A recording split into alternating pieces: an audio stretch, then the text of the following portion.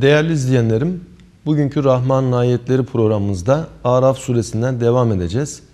Ve 148-153. ayetler arasını okuyup e, beraberce daha iyi anlamaya çalışacağız. Bu bölümde Allahu Teala Hz. Musa'nın kavmiyle alakalı bazı durumları bize anlatıyor. Tarih aynasından hepimize e, bir takım mesajlar veriyor. Şöyle ki وَاتَّخَذَ قَوْمُ مُوسَى مِنْ بَعْدِهِ min huliyihim iclen ceseden lehu huvar. Vettehade kavmu Musa, Musa'nın kavmi edindi. Min ba'dihi, ondan sonra min huliyihim, bir takım süs eşyalarından iclen, bir buzağıyı heykel olarak yaptılar. Ceseden, mücessem, ceset şeklinde lehu huvar, sesi olan, e, sanki canlıymış gibi ses çıkaran bir e, buzağı heykeli yaptılar. Elem yerav onlar görmediler mi? Ennehu la yükellimuhum o onlarla konuşmuyor. Ve la yehdihim sebile ve onları herhangi bir yola doğru bir yola da hidayet etmiyor. İttahazuhu onu bu şekilde ilah edindiler ve kanu zalimin zalim kimseler oldukları halde. Burada e, Hz. Musa'nın kavmi içinde meydana gelen bir durum bize bildirildi. Hz. Musa'nın kavmi evet ona iman ettiler ama iman etmekle hemen her şey bitmiyor. Ee, uzun bir yol, hayat devam ediyor ve o uzun yolda insanlarda zaman zaman inhiraflar, doğru yoldan sapmalar olabiliyor. İşte Hz. Musa'nın da kavminde hemen her kavimde olduğu gibi bazı inhiraflar olmuş. Kur'an-ı Kerim bize bunu e, misal olarak veriyor. Hz. Musa Tur'a gittikten sonra e, kendisine işte Tevrat verilecek. E, kendi yerine vekil olarak e, kardeşi Harun'u bırakıyor. Ama e, kavmi içinde bir tanesi, Samiri isminde bir tanesi e, değişik süs eşyalarından, zinet eşyalarından bir buzağı heykeli yapıyor. Daha önce de Mısır'dayken e, İsrailoğulları e, bunu zaten ilah kabul eden bir toplum içinde yaşamışlar. Böyle olunca e, buzağı, sığır, öküz bu gibi şeyler e, onların den ve damarlarına adeta işlemiş. Bir nevi bunları ilah olarak kabul etmek gibi durumlar onlarda e, daha önceden görülmüş. E, ardından Hz. Musa'ya tabi olmakla beraber yine bir fırsat bulunduğunda içlerinden bir tanesi çıkıyor ve onları tekrar o eski buzağı sevdasına e, işte buzağı, ineği ilah edinmek sevdasına döndürebiliyor. Bununla alakalı e, ayetlerde bunun bize anlatıldığını görmekteyiz. Ve Cenab-ı Hak anlatırken e, bunun ne derece batıl bir şey olduğunu da nazara veriyor. Onlar görmediler mi? O ilah kabul etmiş oldukları buzağı onlarla konuşmuyor. Yani konuşmayan bir ilah ve la yehdihim sebile ve doğru yola sevk etmeyen bir ilah. Yani bir buzağının hele e, doğrudan süs eşyalarından yapılmış, elle yapılmış bir şeyin e, ilah olamayacağı çok bedihi ve aşikar. Ama öyle olmakla beraber insanlar tarih boyu bu gibi dalaletlere düşebilmişler. Günümüzde de en azından Hindistan'da bir kısım insanların hala ineğe taptığı düşünülürse e, Kur'an-ı Kerim'in bu mesajının ne derece günümüzü de ilgilendirdiği e, ortaya çıkar. وَلَمَّا سُقْتَ ف۪ي اَيْد۪يهِمْ Ellerinde olan düşürüldüğünde yani bir nevi akılları başlarına geldiğinde bu bir deyim. E, işte ayakları suya değmek bu mesela bu bir deyimdir. Onun gibi sukata fi eydihim akılları başlarına geldiğinde yaptıklarının boş bir şey olduğunu anladıklarında ve ra'ev ennehum gattallu ve kendilerinin yoldan çıkmış olduğunu gördüklerinde galu dediler ki le illem yerhamna rabbuna şayet Rabbimiz bize merhamet etmezse ve yağfir lena ve bizi mağfiretine mazhar kılmazsa lenekunenne minel hasirin biz hüsrana düşenlerden olacağız. Zarara düşenlerden olacağız. وَلَمَّا رَجَعَ مُوسَى اِلَى قَوْمِهِ غَضْبَانَ اَسِفًا Vakta ki Musa kavmine son derece öfkeli ve teessüf etmiş bir şekilde, üzgün bir şekilde döndü. Gale dedi ki bi sema haleftumuni yani bana ne kadar da kötü halef oldunuz. Ardımdan ne kötü işler çevirdiniz. Min badi benden sonra. E aciltum emre rabbikum yani e, Rabbinizin emrine acele mi ettiniz? Bir nevi yani Allah'tan belanızı mı istediniz? Niye böyle bir şey yaptınız? Malum Hz. Musa e, Tur Dağı'na gitti. 40 gün e, orada çilede kaldı. 40 gün inzivada kaldı ve bunun neticesinde kendisine Tevrat levhaları verildi. Ama orada da taraf ilahiden bildirildi ki senin kavminde böyle böyle durumlar oldu.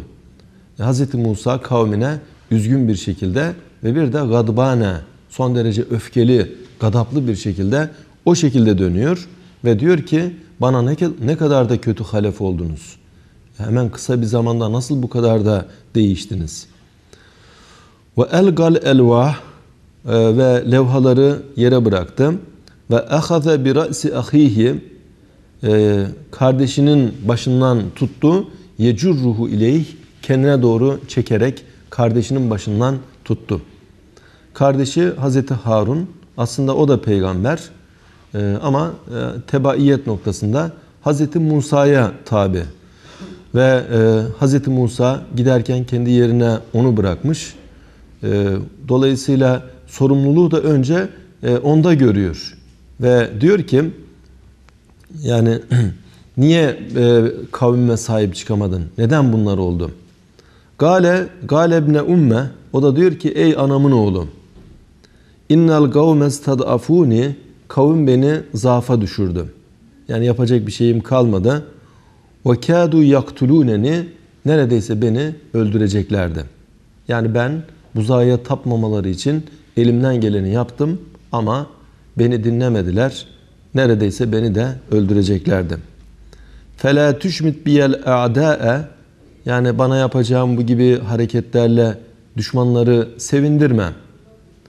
Ee, ve la tec'alni ma'al kavmiz zalimin ve beni zalim kavimle bir tutma. Beni onlarla beraber değerlendirme.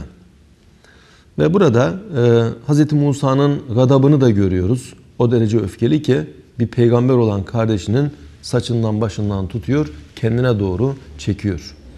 Ve e, o da mazeret beyan ediyor. Ey anamın oğlu e, ben elimden geleni yaptım ama e, beni zaafa düşürdüler Beni dinlemediler ve neredeyse beni öldüreceklerdi diyor. Bana bu şekilde yapacağın nahoş hareket düşmanları sevindirir. Böyle bir şey yapma diyor.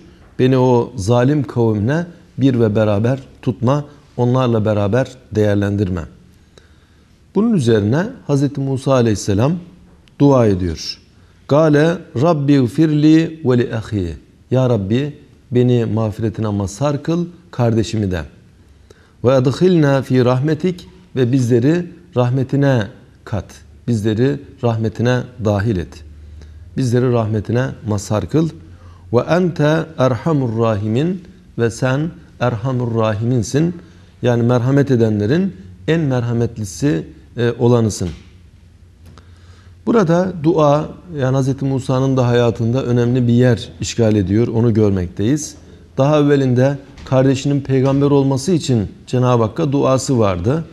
Ve kendisine risalet görevi verildiğinde orada e, meşhur bir duası var. Duasında diyordu ki e, Rabbi şrahli sadri Ya Rabbi göğsüme genişlik ver ve yessirli emri işimi, peygamberlik vazifemi kolaylaştır. Vahlul ugdeten min lisani dilimdeki düğümü çöz. Yefkahu gavli benim sözümü anlayabilsinler. Ee, Vec'alli veziran min ehli Harun'a ahi ve kendi ehlimden bana bir vezir kıl, yardımcı kıl. Kardeşim Harun'u bana yardımcı yap. İsmen bir dua yapmıştı kardeşi Harun için ve duası makbul olmuş ki Hazreti Harun e, hem peygamber oldu hem de e, Hz. Musa'nın yardımcısı oldu. Onun bir nevi veziri oldu. Ancak e, bu olayda Hz. Musa önce kardeşini sorumlu tutuyor. Yani yetki varsa elbette sorumluluk da vardır. Kendi yerine onu halef olarak bırakmış. Sormak da elbette hakkım. O da mazeret beyan ediyor. Bunun üzerine Hz. Musa aleyhisselam hem kendine hem de kardeşine dua ediyor. Ya Rabbi diyor beni mağfiretine mazhar kıl, kardeşimi de ve bizleri rahmetine dahil et. Bizleri rahmetine mazhar kıl. Şüphesiz sen Erhamur Rahiminsin. Yani rah merhamet sahiplerinin en merhametli olanısın. Bu anlamda Erhamur Rahimin gibi ifadeler, ismi taftille ifade edilen Cenab-ı Hakk'ı anlatan ifadeler Kur'an-ı Kerim'de geçer. Zaten şu alemde kim kime merhamet ediyorsa Allah'ın ona koymuş olduğu bir merhamet duygusudur. Diyelim anneler e, çocuklarına şefkat eder, babalar çocuklarına şefkat eder. Bu Allah'ın rahmetinin bir tecellisidir. Vahşi hayvanlarda bile görürüz. Mesela arslan, kaplan gibi parçalayıcı canavar olan hayvanlar kendi yavrularına karşı son derece merhametlidir. Ve merhamet hakikati bütün alemi kuşatmış olan bir hakikattır. Yani nasıl ki güneşin ışığı her tarafı dolduruyor, her tarafı istila ediyor. Allah'ın rahmeti e, güneşin her tarafı istilasından çok daha zahir olan bir hakikattır. Ve şu hadsiz alemi şenlendiren rahmettir. Şu varlıkları yokluk karanlığından çıkarıp gözde görülür hale getiren Cenab-ı Hakk'ın rahmetidir. Gerek insanlarda, gerek hayvanlarda, gerek diğer bütün varlıklarda, canlılarda birbirine merhamet duyguları Cenab-ı Hakk'ın rahmetinin eseridir.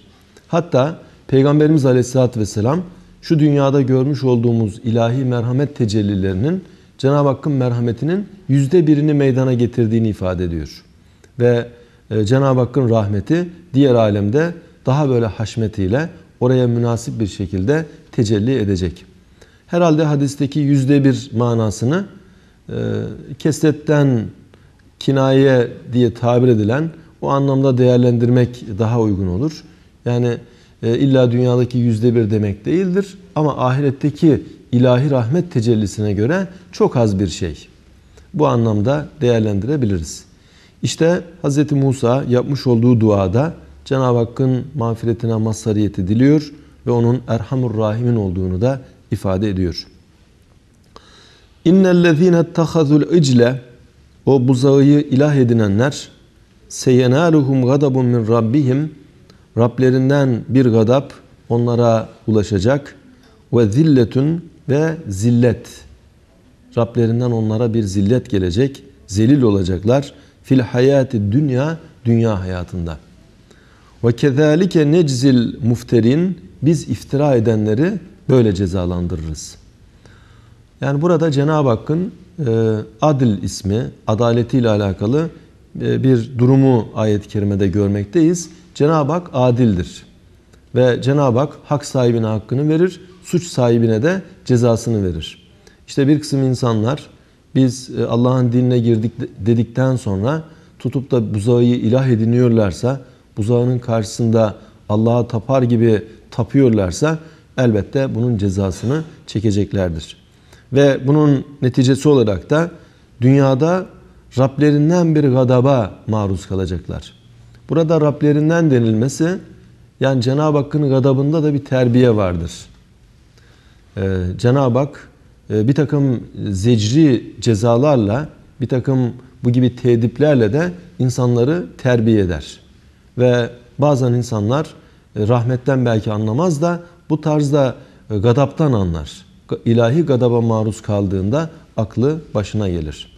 Yani hepimiz az çok bunu hayatımız boyunca da görebiliriz. Diyelim bir deprem olayı olur. Deprem olayı gadab ilahinin bir nevi e, göstergelerindendir tabir yerindeyse. E, öyle bir durumda bakarsınız daha önce e, hiç camiye gelmeyenler camiye gelmeye başlar. Öyle bir durumda artık meyhanelerin pek müşterisi olmaz. Öyle bir durumda insanlar tövbe istiğfarla meşgul olur. İşte Allah gadabının tecellisiyle de insanları terbiye eder. Demek ki bir kısım kimseler Allah'a inandık dedikten sonra Allah'ın dinine uyduk dedikten sonra tutup da buzağıyı ilah edinmek gibi veya benzeri şeyler gibi e, uygunsuz durumlara girmişlerse bunlar Allah'ın gadabına maruz kalacaklardır. Ve ayette bu gadabun min rabbihim Rablerinden bir gadap diyor ve Rab terbiye eden anlamında. Allah bu gibi musibetlerle de onları terbiye eder. Böyle bir manaya dikkat çekiliyor. Ve zilletun fil hayatid dünya dünya hayatında bir zillet. Yani zelil olacaklar ve perişan olacaklar. E, Bu nazara veriliyor. Ve kezalike neczil mufterin iftira edenleri biz böyle cezalandırırız. Yani iftira etmek, Allah'ın şeriki olmadığı halde elleriyle yaptıkları bazı putları e, ilah yerine koymak Allah'a bir iftiradır ve bu iftira elbette karşılıksız kalmayacaktır. Taraf ilahiden cezalandır cezalandırılacaktır. وَالَّذ۪ينَ عَمِلُوا السَّيِّئَاتِ e, Kötülükleri yapıp da ثُمَّ تَابُوا مِنْ بَعْدِهَا Daha sonra tövbe edenler ve amenu ve iman edenler inne rabbeke senin Rabbin seni terbiye eden Allah min badihe bundan sonra onların bu yaptıklarından sonra legafurur rahim e, son derece bağışlayıcıdır ve son derece merhametlidir. Burada e, başka bir denge meselesini görmekteyiz. Evet Cenab-ı Hakk'ın gadabı olduğu gibi Cenab-ı Hakk'ın affı ve mağfireti de var. Cenab-ı Hak gadabını nazara verdi. Yani bu zağı ilah edinenler bunun cezasını çekecekler. Dünya hayatında bir zillet tadacaklar. Allah'ın gadabına e, maruz kalacaklar. Bu bildirildi. Bu genel prensip. E peki bundan bir kurtuluş yok mu? İnsanlar akıllarını başlarına alsa, tövbe ettik deseler Allah tövbe kapılarını kapar mı? Onları affetmez mi? Bu noktada Allahu Teala tövbe kapısının açık olduğunu söylüyor ve kötülükleri yapıp ardından tövbe edenler ve iman edenler evvelinde iman etmiş deseler bile imanını tecdit edenler, imanını bu şekilde yenileyenler inne rabbeke senin Rabbin seni terbiye eden Allah burada muhatap Peygamberimiz Aleyhisselatü Vesselam Cenab-ı Hakk'ın en büyük terbiyesine o muhatap olmuştur. En güzel terbiyenin e, misalini onun hayatında görmekteyiz. İşte seni terbiye eden Rabbin onların bu yaptıklarından sonra tevbe etmeleri durumunda, tevbe edip e, iman etmeleri durumunda le gafurur rahim, gafurdur ve rahimdir. Yani günahları bağışlar ve son derece merhametlidir. İşte değerli izleyenlerim, Kur'an-ı Kerim burada da, bu olayda da bize beynel havf ve reca, korku ümit arası bir denge durumunu nazara veriyor. Evet insan hasbel beşer, bir takım günahlar içinde olabilir. Hatta Allah'a iman ettim dediği halde Allah'a şirk koşacak tarzda tavırlara da girmiş olabilir. Ama böyle olmakla beraber tevbe kapısı tümüyle kapalı değildir. Can boğazdan çıkıncaya kadar ki dönemde insan hayatta olduğu sürece tevbe kapısı açıktır. Ama artık can boğaza gelmişse, perde aralanmışsa e, o zaman tevbe kapısı kapanıyor. Ve Allahu Teala gadabını e, nazara verdikten hemen sonra rahmetini, merhametini nazara vererek e, aynı zamanda e, günahkar insanları da ümitlendiriyor. Ta ki insanlar Allah'ın merhametini ümit etsinler, Allah'ın bağışlamasını ümit etsinler ve o ümitle yaşasınlar, kendilerine bir çeki düzen versinler. Cenab-ı Hak istikametle yaşamayı, günahlardan uzak bir hayatı hepimize nasip eylesin. Bir başka programımızda tekrar beraber olmak ümidiyle hepinize hayırlı günler diliyorum.